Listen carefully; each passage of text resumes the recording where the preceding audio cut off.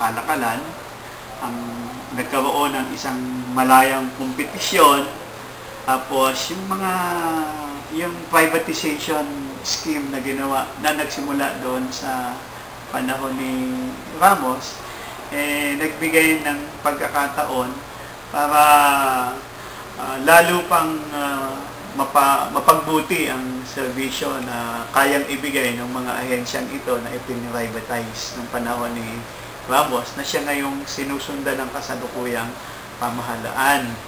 Pati ang disiplina sa mga kapulisan, palibasa, isa siyang militar, ay nagkaroon din naman ng mga pagbabago. It might not be that perfect, pero kahit pa paano, eh, mulat ang mata ng mga nasa militar, nasa kapulisan, na sila eh serbisyong pambayan, hindi serbisyong pangsarili. Na ang proteksyon eh para sa mamamayan, hindi proteksyon lang sa mga tao ng gobyerno o ng kanilang mga sariling interes.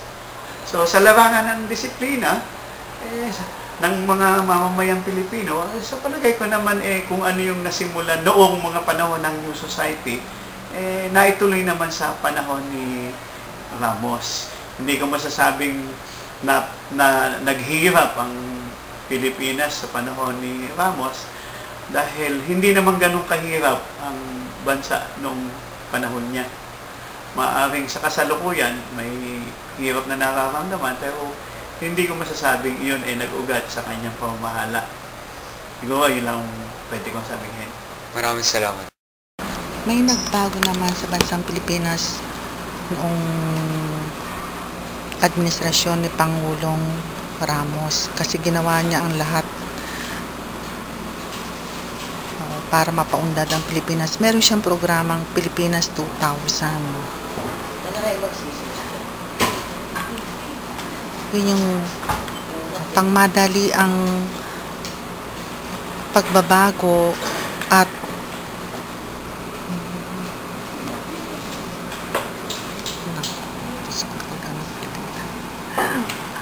madali ang pagbabago at pangmatagalang pagbabago sa ekonomiya ng Pilipinas.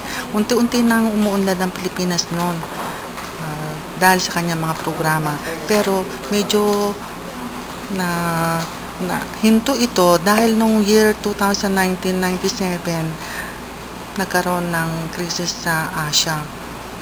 Yun yung sa power supply, mara yung produksyon sa mga pabrika sa Pilipinas medyo umunti ang paggawa sa produksyon medyo maraming natanggal na manggagawa kaya naapektuhan ang pagunlad ng Pilipinas.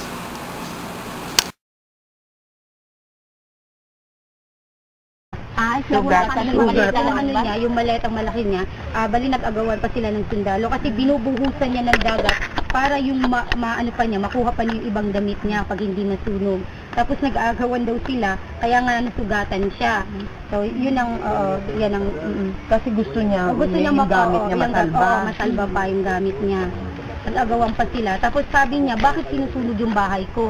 Kasi meron daw order sa kanila. Tapos sinasabi ng sundalo, alis na kayo dyan, kaya yung nag-aagawan sila, alis na kayo dyan kasi sabi niya, meron pa puputukan kayo sa taas, bang. At tapos yung pala, nagtakbuhan na yung sundalo, papunta na doon sa Maynila. Oo. Binomba rin ba? Mga hindi, hindi. Kaya nga sabi niya, Ninoko lang siya? ninoko lang siya. Kasama mo siya? Anak po. Ito taon. Seven years old. Pwede ba matanong Mm. kung anong nangyari? Ay, sa buong kain na. May tapos yung na. Natakot ba siya? Biyo ka. Mang mag mang magtibak na inalong namatay na ako. Natatakot ko. Sundalo. Oo. Pasalan pupupan ko na hadla. Iyan sa kami sa sundalo. Ini kuan long na firing long mga kamo. Firing mo kami. Long kumagsabi na katukan. Long Sinabihan sila ng sundalo na firing na kayo. Sabi na firing, i-firing daw sila. Tapos nung magpupukan na, natatakot talaga siya. Sabi niya, ina, sabi niya, mamamatay na tayo. Sabi niya, nanay, mamamatay na tayo. Sabi mo. Mm. Tapos takot na takot siya. Pagbista na kawin. Pwede na Pagbista na lang. Siya tik ako lang si sundalo. Ah, iyan pa ini si sundalo. Ah. Na. Yan na siya tik Anong ako nangyari? Hmm? Sir ko hindi. Dinasama ka ba? Tinalian ka na siya. Ya hawakan na Tinalian siya ng sandalo. Tinalian ka ng kamay? Yan ah. Pa ito siya. Walang siya. Ah, yan na siya ini pusas. Na. Pinusasan siya. Bata-bata. Kahubad pa siya?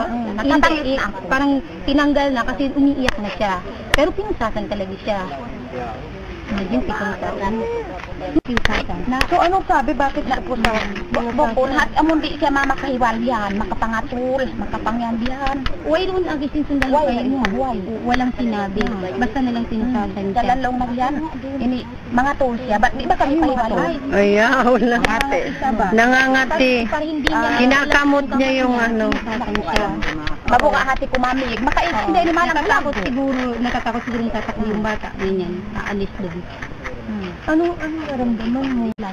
Iba yung Yung sila. mo. Anong pangalan niya? Ginalin. Jenaline. Mm, Jenaline. Oh, ano nangyari? Namiyok ako lang silente, naglinti. Ah, magbihan, limpihan.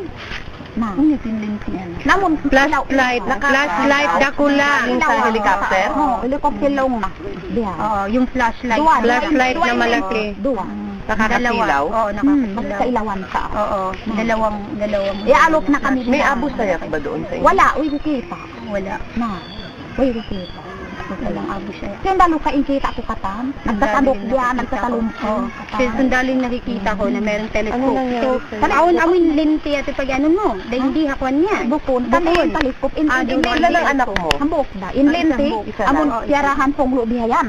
In Linti, M79, pag-uus na inilaw. Oh, kaya flashlight. Diyan Oh, nalikan kami ilaw. rin ng taas. Oo, pinaflashlight sila dun sa taas. Yeah. Tapos malaki yung sinasabi niyang ako. lente yung flashlight na malaki dalawa. So tapos pinapuputukan sila ng M79. Hmm. Kaya sigurado siyang sundalo talaga yung gumawa nun. Kasi may helicopter. Oo, meron. O ano ang naramdaman? Iyak siya ng iyak? Na, nagtangis na ka, umiiyak tangis. Di na baon sa umiyo ka na bata-bata ka. Oo, natatakot kasi bata. Magbulo ko naglanak. Eh, daw bata yun. Ako lang Kasi naglanak. inano niya. Akala sabi niya mamamatay niya. Oo, mo niya. Na. Paano sabi? Ang, ang sabi daw mamamatay na siya. Kaya nga nung kung, kung merong putukan, sabi niya, ina, mamamatay na tayo. Ganyan, nanay, mamamatay na tayo. Oo. Tapos inano niya lang, yung, yung balang, ah, yung, ano nga ito, yung, bali, in, ah, yung, Ginapo. oo, ginagapos niya lang yung anak niya. Hindi ginagapos parang ano lang, ma, yung, yung, para i, Pero siya ginapos talaga. Mm-mm. Kasi pi- pinusasan siya. Ah. Nasan, hindi kayo nakasakay na ng bangka nun? Na, way kami, naglangoy na Wala kami. na po. Naglangoy na lang sila. Naglangoy kayo na Kaya- kami. Minsan in akal, biyosan na ako yan ba do. Nagputing na ako, long ko fil, long ko. Busi lang ko ina, long ko yan ba do. Way na kanyawa. Sakali ay kita kiyaan basa sa parini. Basa siyaon pirungan aluan. Ang, ang sabi niya, kasi wala, wala siyang damit. Ang sabi niya, Ayaw pa siya, walang damit. Mm. Tapos ang sabi ng sundalo, ah, ay sabi niya sa sundalo, pahiram naman sabi niya, sir, ng damit mo. Ah, bakit? Sabi niya, yung bang nilalamig niya, sabi niya, oo. Parang meron daw kinuha na, par yung damit niya, tapos binigay din sa kanya. Para hindi, ano, Binigay mm, mm, mm.